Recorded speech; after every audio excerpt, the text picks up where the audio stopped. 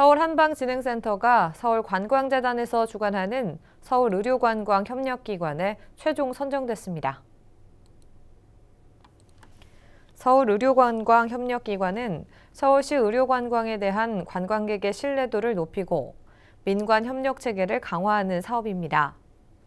이번 선정으로 센터는 2022년부터 3년간 서울관광재단에서 제공하는 의료관광 홍보 기회와 국내외 마케팅, 협력기관 간 네트워킹, 센터 활성화를 위한 관광객 체험비 등의 지원을 받게 됩니다.